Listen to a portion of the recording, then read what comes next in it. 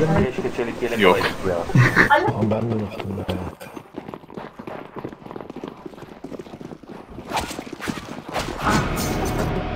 İtelemeyin beyler.